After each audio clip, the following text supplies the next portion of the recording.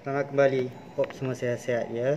Pertama sekali terima kasih kepada semua viewers yang boleh subscribe, tolong anda subscribe untuk channel ya. Jadi hari ini atas pertanyaan kawan-kawan dengan projek mushroom. Dan bukan sifu mushroom, saja nak share apa yang Nan buatlah berkenaan projek mushroom. Nan dapat idea dari YouTube juga ambil masa untuk belajar tentang penjagaan mushroom dan penjagaannya. Jadi untuk bermula, hanya keluarkan sebanyak RM500 lah. Tapi tak sampai RM500 lah, RM400 lebih aja. Pasal Anda pun bukannya banyak modal pun.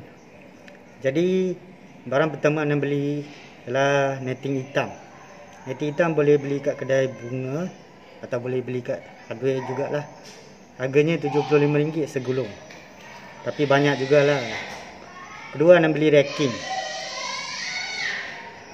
Harganya RM160. Tapi kalau rajin bolehlah cari second hand juga. Boleh dapat murah sikit. Sorry kat sini bising-bising sikit. Selepas tu anak buat netting sendiri macam rumah cendawan lah.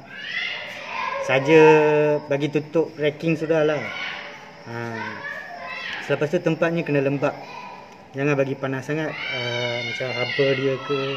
Jangan bagi macam cahaya matahari tu kena direct dekat kita punya tempat tu lah. So tutup guna racking. Uh, tutup cover dia punya racking aje lah. so, bongkar dekat Shopee sana. So, sangat kualiti supplier macam mana kan. So, anak order dari tiga supplier uh, ni order total 60 bongkar. Uh, supplier A bagi harga RM3 sebongkar supplier B bagi RM2.40 dan supplier C bagi RM2 satu bongkar lah harga ni satu bongkar punya. So anan order 60 bongkar. Supplier A 30 supplier B 15 supplier C 15 bongkar. Selepas seminggu stoknya sampai. Stoknya lah Ha, stok A pula.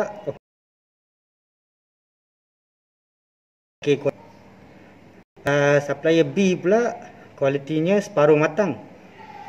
Ha, harga RM2.40. Supplier A harga RM3 tapi dah matangnya. Supplier B pula harganya RM2.40. Harga lebih murah tapi tak matang. So, supplier C harganya RM2 tapi dia pun bagi yang matang. So, anda pun fikir supplier C worth it lah pasal dia dah bagi matang harga pun murah. Uh, value for money lah. So barang ni dah sampai kat sini. Anda check dia punya packing. Uh, kualitinya pun bagus.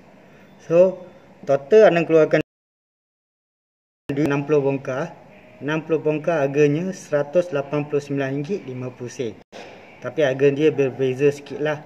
Satu dia dapat macam tu So netting RM7 Racking RM160 Dengan bongkar RM189.50 Total semua RM424.50 aja. Tak sampai RM500 pun Tak sampai RM4.5 pun. So agak Sana start bisnes ni RM425 dah start dah bisnes ni. Anda nak share benda ni. Nak bagi tahu siapa-siapa yang nak berminat tu Nak buat tu tak payah nak border banyak lah Kalau 400 polis. Ha, ni pun pasal kalau anda ranking yang second tu dalam boleh kurang lagi. Tak sampai 400 pun boleh buat bisnes ni dah. So di yang seterusnya anda akan buat kat video seterusnya. Pasal supplier mana supplier C tu tahu siapa supplier C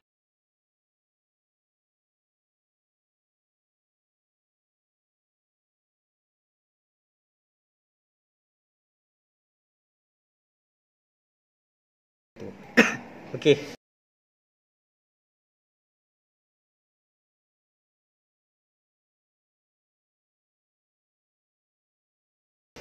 Jumpa lagi di video